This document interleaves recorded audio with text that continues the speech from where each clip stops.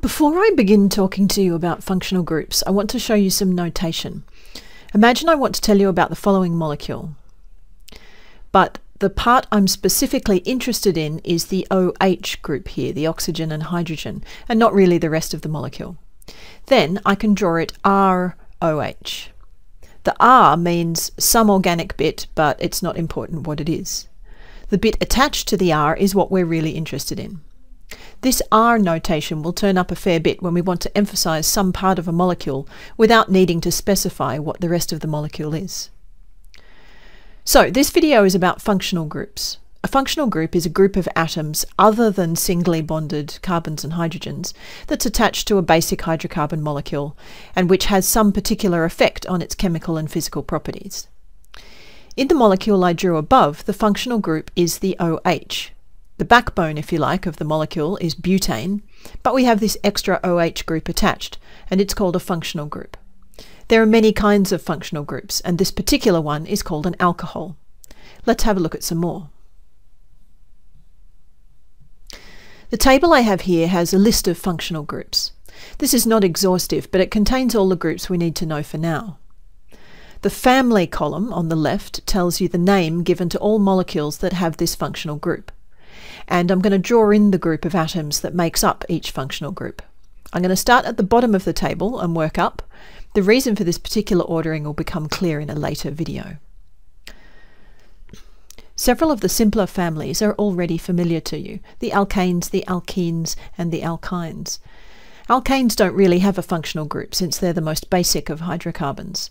Alkenes have a double bond and alkynes have a triple bond. Propene is an example of an alkene. The next family is the alkyl halides, or the haloalkanes. These molecules are identical to alkanes, except that one or more of the hydrogens in the molecule is replaced by a halogen atom. This could be fluorine, chlorine, bromine, or iodine. The halogen atom constitutes the functional group. An example of one of these is this, and it's known as bromopropane. Next we have the amines. Here, a nitrogen and two hydrogens are added to the molecule. An example would be propanamine. These molecules have behaviour in common with ammonia, from which they are derived. Ammonia is a base, a proton acceptor, and so are amines. Next is the alcohols.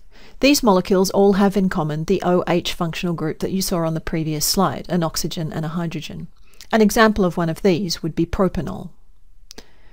Next, the ketones. These have a double bonded oxygen attached to one of the middle carbons of the molecule. So an example of this is propanone, also commonly known as acetone. Note that the C double bond O group by itself is called a carbonyl group. Then we have the aldehydes.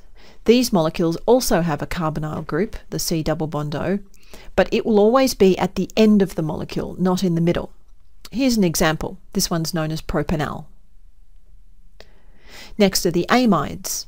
Here you take a carbonyl group and you join an amine to it, and together that makes an amide. This molecule is propanamide. Then the esters. Again, you take a carbonyl group and then add an oxygen and another hydrocarbon part. This ester is called methylpropanoate.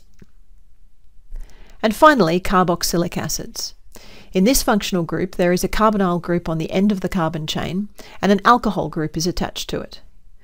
The name carboxylic acid is not a coincidence. Because of the proximity of the two electronegative oxygen atoms, which draw electron density away, it's easy for this end hydrogen here to drop off and become a lone proton, a hydrogen ion. Hence, when these compounds dissolve in water, they dissociate to give hydrogen ions. An example of one of these is propanoic acid.